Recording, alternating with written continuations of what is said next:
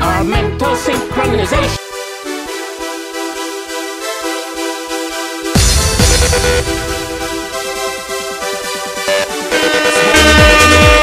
Damn, son, where'd you find this?